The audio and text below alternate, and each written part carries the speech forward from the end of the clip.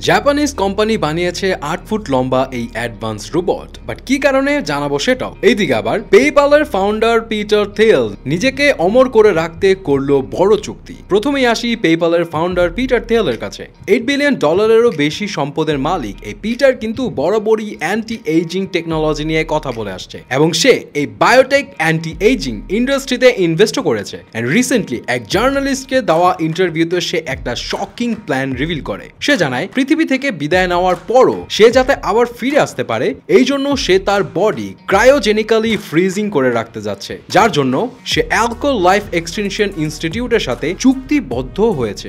And এর জন্য প্রায় দুই লাখ ডলার মানে দুই কোটি টাকারও বেশি শুধুমাত্র সাইন আপের জন্য খরচ হয়েছে, যার মধ্যে পুরো বডির মধ্যে শুধু ব্রেন সংরক্ষণ করতেই লাগছে আশি হাজার ডলার সে জানায়, আমরা মৃত্যুকে জয় করতে পারছি না। কেন পারছি না, এটা নিয়ে আমাদের ভাবা দরকার। যদিও সায়েন্টিস্টরা তাদের গবেষণা প্রতিনিয়ত চালিয়ে যাচ্ছে, এবং তার ধারণা সায়েন্টিস্টরা অচিরেই মৃত্যু কে জয় করে ফেলবে। অ্যান্ড তার কথা হচ্ছে, সে সময় সে যেন আবার তার বডি অ্যান্ড ব্রেন নিয়ে ফিরে আসতে পারে, সেই কারণে সে নিজের পুরো দেহ সংরক্ষণ করে রাখতে চাইছে। যদিও সে একা না, দুই সালের একটা পরিসংখ্যান বলছে, আমেরিকার প্রায় পনেরোশো মানুষ এইভাবে নিজের বডি অ্যান্ড অর্গান সংরক্ষণের জন্য সাইন আপও করেছে। যার মধ্যে কয়েকজন ফেমাস ব্যক্তিরাও আছে, যেমন প্যারিস হিলটন, আমেরিকান গড ট্যালেন্টের সাইমন কোয়েল। এমনকি ব্রিটনি স্পেয়ার্সও আছে এই লিস্টে এবার আসি জাপানিজ এই রোবটের কাছে।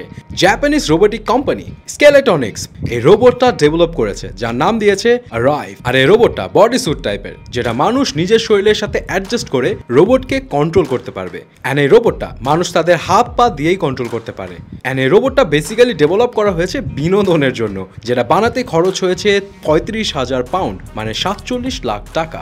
আর এই রোবটটার ওজন প্রায় চল্লিশ কেজি। আর এই যে দেখেন ট্রান্সফরমার্সের বম্বল বির সাথে যারা পরিচিত, তারা আমি শিওর এই ভিডিও দেখে একটু সারপ্রাইজ হবে। এই বাম্বল বি কনসেপ্টের ট্রান্সফর্মিং ভেহিকল বানিয়েছে বি ট্রান্সফর্মার্স নামক এই কোম্পানি জাস্ট কয়েকটা ফ্রেন্ড মিলে এই প্রজেক্টটা লঞ্চ করেছে নিজেদের বাড়ির পিছনে ফাঁকা অংশে। আর এরপর এটি নিয়ে এক্সিবিশনে গেলে তারা পুরোই ভাইরাল হয়ে যায়। ইভেন গাড়িটা অকশনে উঠেছে এবং দাম উঠেছে প্রায় পাঁচ লাখ ডলার মানে পাঁচ কোটি টাকা। যদি অনেকের কাছে অতটা জ ড্রপিং মনে হয়নি, এটা অনেক কুল অ্যান্ড এক্সেলেন্ট এটা অনেক কুল অ্যান্ড এক্সেলেন্ট একটা ইনিশিয়েটিভ এটা মানতেই হবে।